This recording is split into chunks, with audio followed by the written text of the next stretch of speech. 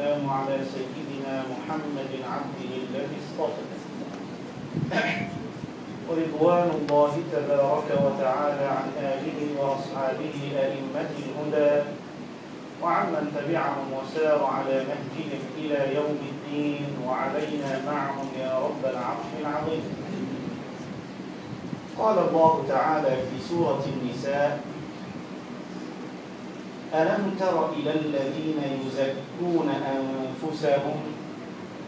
بل الله يزكي من يشاء ولا يظلمون فتيلا قال أهل العلم رحمهم الله تعالى من المفسرين نزلت هذه الآية في اليهود والنصارى حينما قالوا يوما نحن أبناء الله وأحباؤه. وتعلمون ماذا عقب رب العزة على كلمتهم تلك لما قالوا نحن أبناء الله وأحباؤه عقب رب العزة فقال قل فلم يعذبكم بذنوبكم؟ حبيبي بعاقبه أنت حبيب الله يعاقبه يسامحه قل فلم يعذبكم بذنوبكم بل أنتم بشر ممن خلق. تذكرون قاعدة لطيفة ذكرها أهل العلم وقد بينتها فيما سبق أن العبرة بعموم اللفظ لا بخصوص السبب. ومعنى هذه القاعدة أن أي آية كريمة من آيات القرآن قد يكون لها سبب نزول. لكن لا يعني سبب نزولها والقصة التي جرت فيها أن هذه خاصة مقتصرة على هؤلاء ولا يتعلق لباقي الناس بها حكم أو فائدة ينتفع ينتفعون بها. لا. فالقرآن في كل جزء من أجزائه ومقطع من مقاطعه وكلمة كلمة من كلماته فيه نفع لجميع عبيد الله. إذا الله تعالى هنا يستفهم فيما يسميه أهل العلم بالعربية استفهاما استنكاريا. يستفهم عن فعلهم مستنكرا هذا الفعل. ألم ترى والخطاب في الأصل لرسول الله صلى الله عليه وسلم ومن بعده لكل عاقل مؤمن.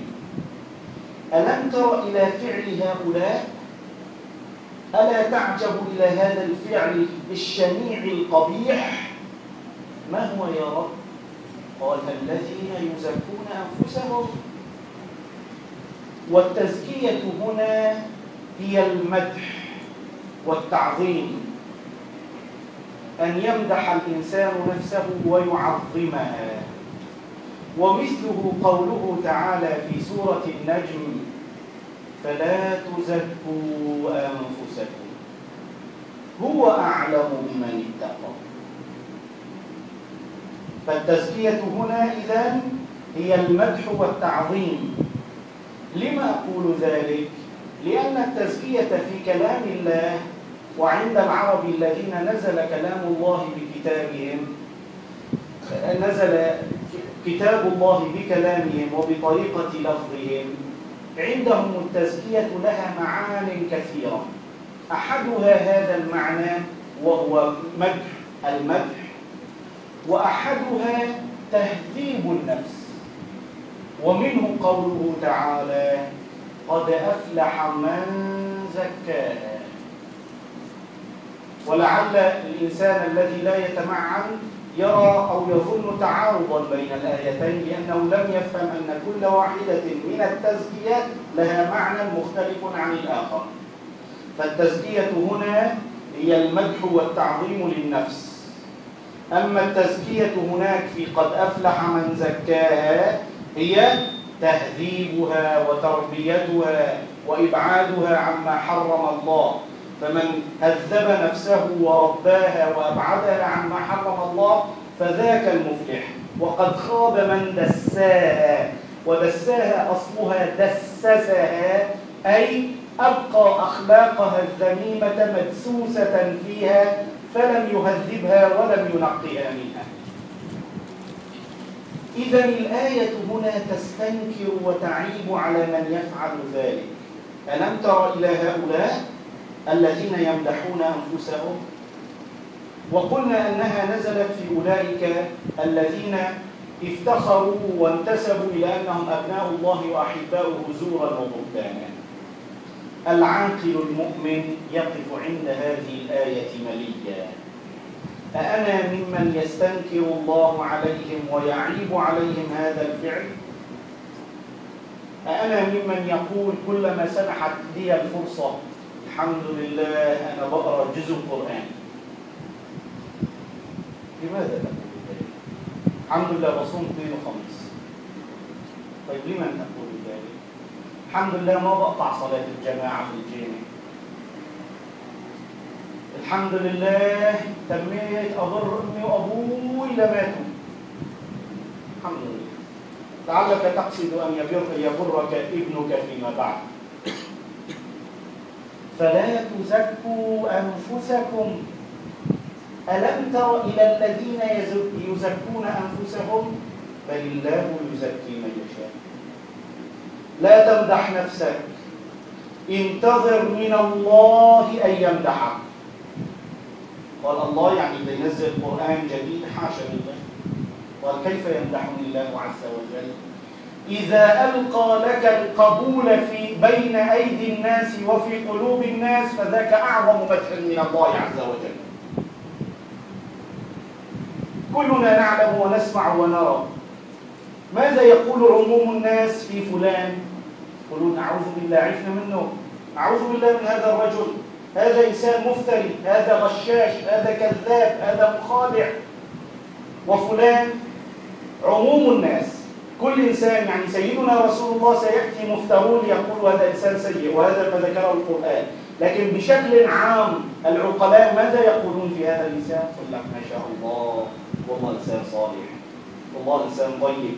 ما لمست منه إلا الخير ما شفت منه إلا التقوى ما عمل الناس إلا بالمودة. كذا كذا كذا. هذا مدح الله ألقاه على عبيد الله فنطقوا به. بل الله يزكي من يشاء. انتظر من ربك أن يكرمك بذلك. أما أن تعرف عن نفسك وتمدح نفسك الحمد لله أنا ختمت القرآن عمري عشر سنين. الله يفتح عليك. ورث الأولياء ما شاء الله.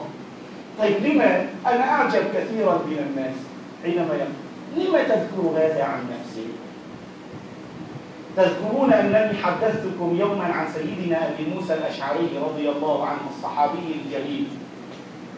وذاك أنه كان بعد وفاة سيدنا رسول الله صلى الله عليه وسلم بزمن يحدث بعد أصحابه من التابعين عن شيء مما صنعوه في عهد النبوة. وكان أن حدثهم عن غزوة ذات الرقاع.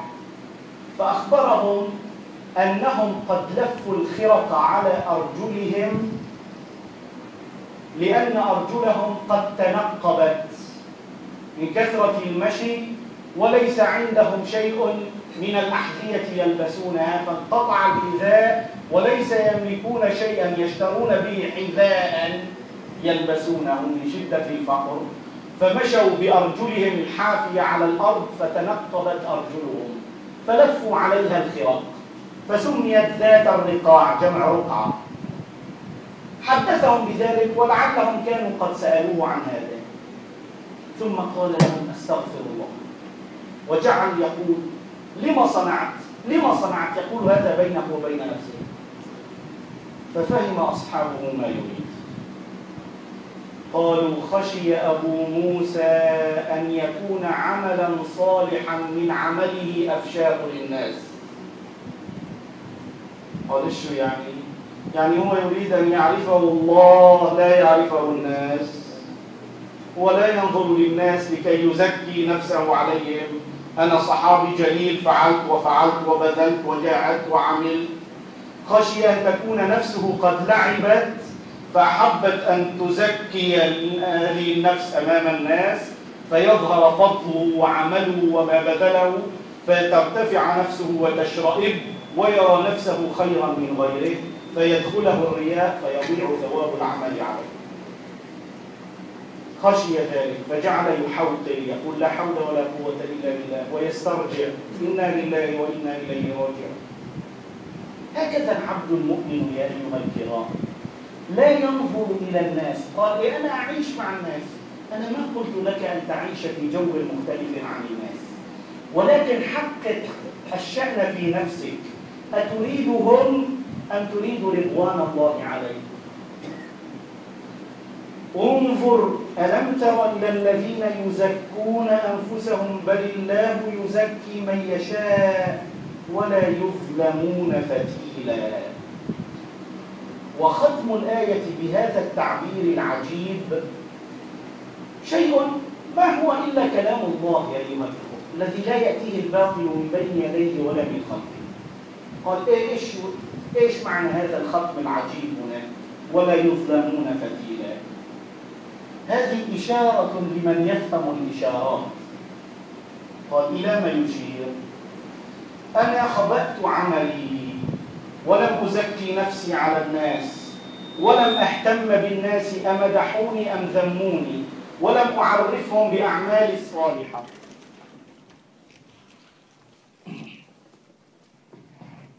ولم أعرفهم بأعمالي الصالحة. فلعل نفسي تقول إيه طيب يا أخي؟ إيه طيب ثواب عملي؟ ألن ينقص مثلا؟ أنا لا أحد يعرف بعملي. كذا كذا ألن يضيع علي شيء؟ لا. إن الله تعالى هو الذي يراك ويعرف, ويعرف كل عمل صالح صغيرا كان أو كبيرا تفعله ويوم القيامة سيكافئك عليه. فلا تحزن إن عرف الناس بعملك الصالح أو لم يعرفوا فإن الذي يعرف عملك الصالح سيكافئك عليه وإن كان فتيلا. فلا تخف. قال إيش الفتيل؟ الفتيل هو النواة الرقيقة التي تكون في وسط هو القشرة الرقيقة التي تكون في وسط النواة. النواة هي عجوة التمر. في وسطها عند شقها هناك قشرة رقيقة جدا لا تزن شيئا ومن رقتها تذوب في أصابع الإنسان. حينما تقوم القيامة لن تظلم فتيلا صنعته ولم يعرف به أحد من الناس ولم يستحضره أحد من خلق الله. أنت ألم تكن به قصدت وجه الله؟ قال نعم إن شاء الله فلن تظلمه ولن يضيع عليك. فهذا التعقيب الرباني يشير إليك. لا تلتفت إلى الناس. عملك محفوظ. أجرك ثابت. لن يضيع أنت تقصد الكريم والكريم لا يظلم فتيلا.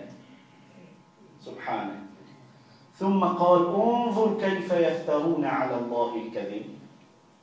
حينما يزكي الإنسان نفسه فكأنه يقول بفضلي بقوتي بعلمي بذكائي باجتهادي فعلت. هذا كذب على الله وافتراء. الله سبحانه وتعالى قال ولولا فضل الله عليكم ورحمته ما زكى من منكم من أحد أبدا ولكن الله يزكي من يشاء. تفتخر بماذا؟ بركيعات تركعها بين يدي الله من أعطاك القوة؟ من أعطاك العقل لتدرك ثم تركع؟ من حبب إليك العبادة حتى تركع وأخوك الذي بجانبك لا يصلي أبدا. من؟ انظر كيف يفترون على الله الكذب. تنسبون الأعمال إلى أنفسكم. والله تعالى هو الذي خلقك وخلق العمل معك وأكرمك به وشرفك وجعل يسلك بك سبل الهداية. فلا تنسب شيئا إلى نفسك. قل ذلك فضل الله يؤتيه من يشاء. أسأل الله تعالى أن يجعلنا من الذين يستمعون القول فيتبعون أحسنه. الحمد لله رب